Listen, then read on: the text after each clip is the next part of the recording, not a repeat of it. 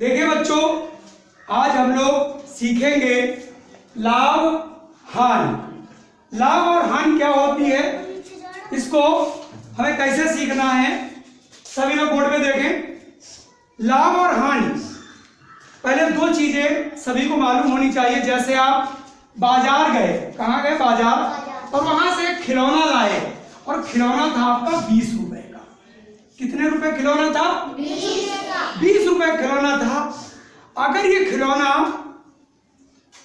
अनुज लाए हैं बीस रुपए का और वारिस को पच्चीस रुपए का बेच दे कितने रुपए का बेच दे? तो इन्हें फ़ायदा हुआ या नुकसान? क्या हुआ? फ़ायदा हुआ। क्यों? इन्होंने बीस रुपए खरीदा था और पच्चीस रुपए का बेचा। कितने खरीदा? खरीदा कितने का? बेचा कितने का? इसका मतलब इनको फ़ायदा हो रहा है या नुकसान? ठीक। तो एक बात ये सीखनी है कि सबसे पहले फ़ायदा हुआ तो हम कब जानेंगे फ़ायदा होगा कब जानेंगे नुकसान होगा।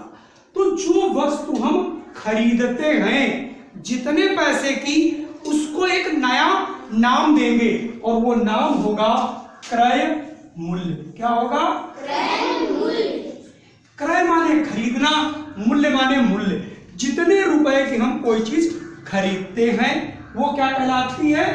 क्रय मूल्य। यानी जो वस्तु जो वस्तु जितने की हम खरीदें, वो क्या कहलाता है? क्रय मूल्य। और जितने की हम बेचें, वो कहलाता है विक्रय मूल्य। ठीक है? अब देखिए अब इसी से अभी हम आपको पाँच छह क्वेश्चंस देंगे तुम लोग सब कर लेंगे। क्रय मूल्य हमने खिलौना कितने रुपए खरीदा? तो बीस रुपए क्या हुआ? क्रय मूल्य की विक्रय मूल्य? क्रय मूल्य। तो क्रय मूल्य हो गया बीस रुपए। कितने रुपए? बेचा हमने कितने का? तो विक्रय मूल्य कितना हो गया? अब अगर हम लाभ कब होता है? दो चीज़ें ध्यान रखनी हम जितने की चीज़ खरीदे और उससे ज़्यादा की बिके तब तो हमको होगा फ़ायदा। क्या होगा? फ़ायदा। भाई बीस की लाए पच्चीस बेचा तो क्या होगा? फ़ायदा। और पच्चीस की लाए और बीस की बेच दे। फ़ायदा हुआ? नुकसान हुआ। तो फ़ायदा कब होगा? जब जितने चीज़ लाएँगे, ज़्यादा की बेचे।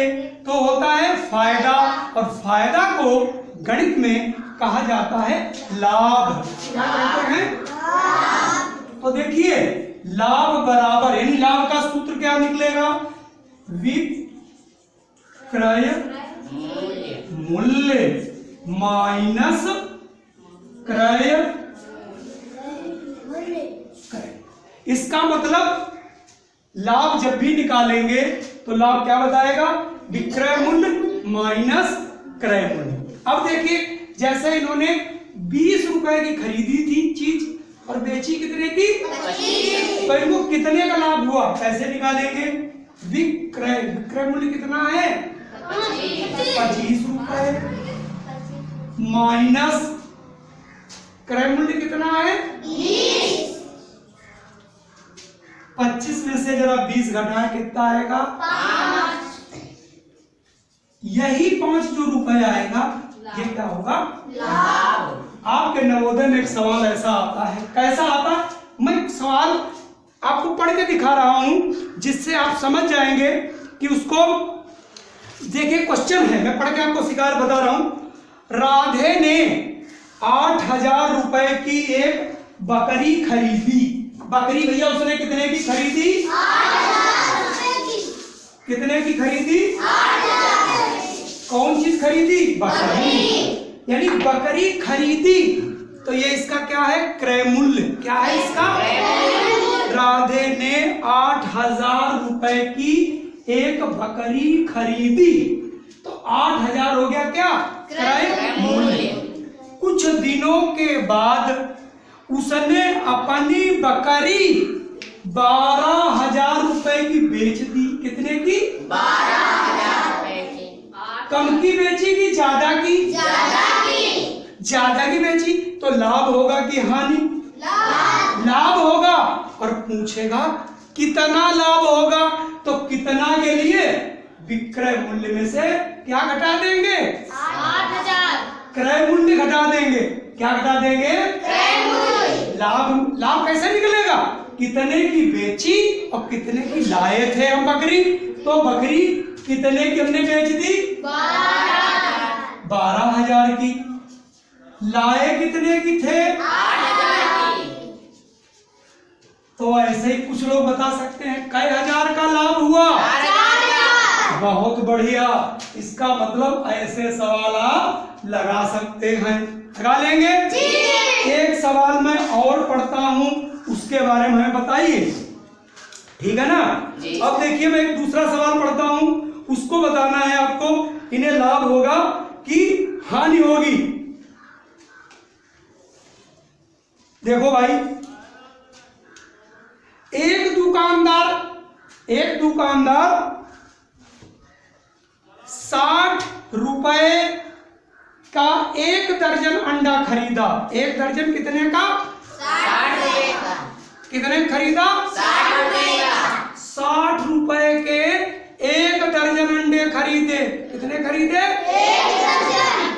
और उसने पाँच रुपए प्रति अंडा बेच दिया।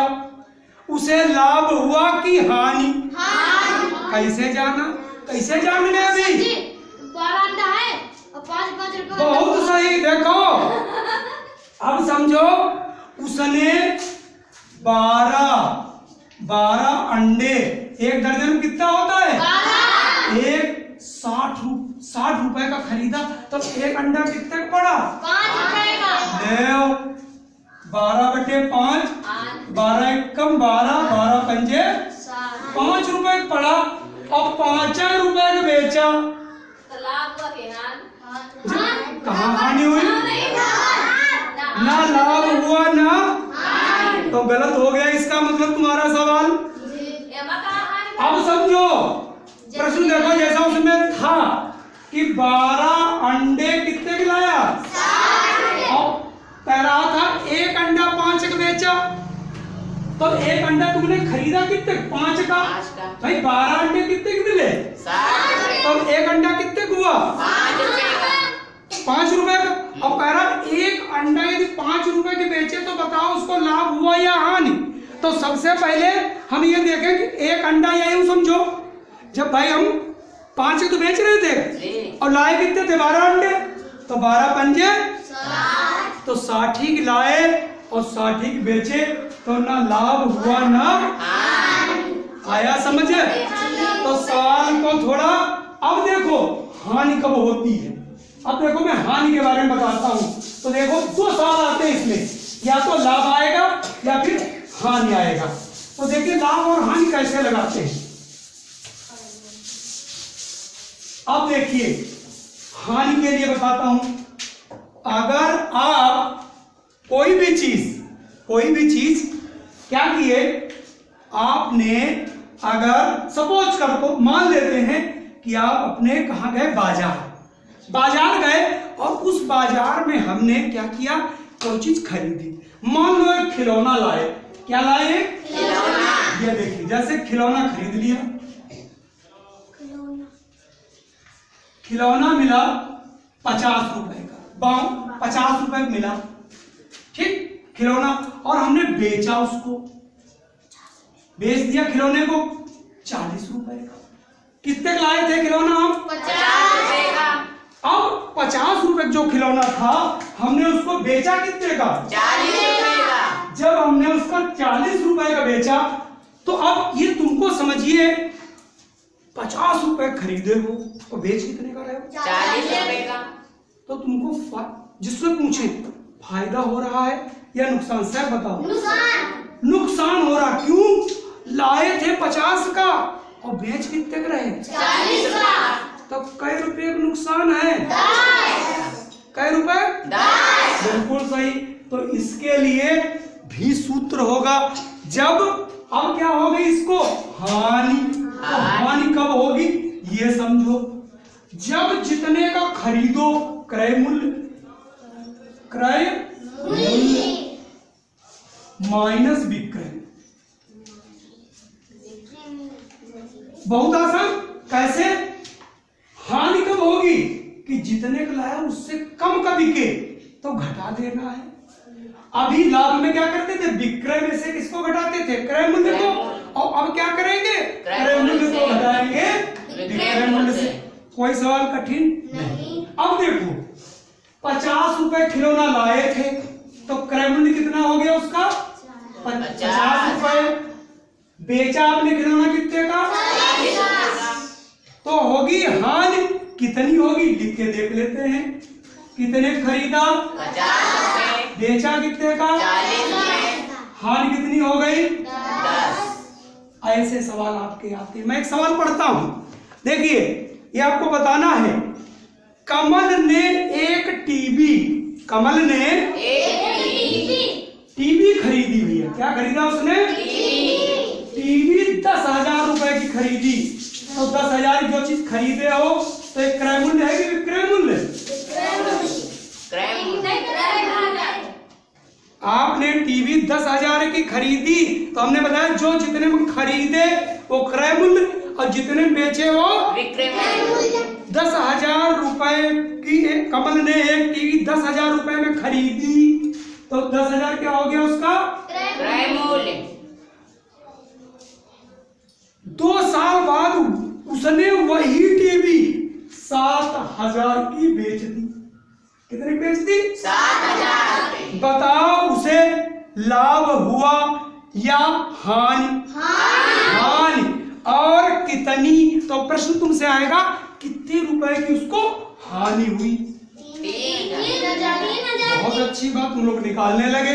तो इसका मतलब हानि बराबर क्रय मूल्य क्रय मूल्य कितना है? दस हज़ार माइनस दस हज़ार में से सात हज़ार घटाएँगे तो कितना ऐसे सवाल आप लोग कर लेंगे। बिल्कुल। अब मैं एक सवाल मुँह जवानी देता हूँ और आपको बताना है लाभ होगा या हानि। चलिए मुझे तुरंत बताना है। देखते हैं कितने लड़के में बता पाते हैं। अपनी कापी कलम बिल्कुल तैयार रखें और उसी के साथ इसका आंसर हमको देंगे और जिसका उत्तर सही हो वो खड़ा होके तुरंत आंसर हमको देगा। देखिए भाई। शिखा ने एक साइकिल चौबीस सौ रुपए में खरीदी। तो चौबीस सौ रुपए कौन चीज़ हो गया? मूल्य हो गया। उस मूल्य को क्या कहेंगे? चौबीस सौ रुपए खरीदी और उसे आठ सौ रुपए आठ सौ रुपए में बेच दी आठ सौ रुपए में तो उसे लाभ हुआ या हानि कितनी हुई जिसका जिसका हो गया हो वो बता देगा हमको। चलो एक लोगों को हुआ है। जिनका जिनका हो सही बताना अगर गलत हुआ तो फिर गलत बात है। चलो बताएँ वारिस कितने की हानि हुई? कई रुपए की हानि हुई? हाँ। सोलह सौ बिल्कुल सही जवाब। अरे भाई कर देखो। क्रय मूल्य कितना था? चौबीस सौ रुपए। माइनस आठ सौ रुपए नहीं आ रहा तो इसमें क्या है? चौबीस सौ लिख लो और इधर क्या लिख लो? आठ सौ। एक करो करते कि नहीं? ज़ीरो ज़ीरो चौदह में से आठ गया। छ एक कितने रुपए की हानि हो गई? मुझे लगता है ऐसे सवाल आप सभी लोग कर लेंगे। कर लेंगे कि नहीं कर लेंगे? कर लेंगे ना? तो ठीक है हम इसका भी और आपको क्वेश्चंस देते हैं आप किस प्रकार के प्रश्नों को करना है? ठीक।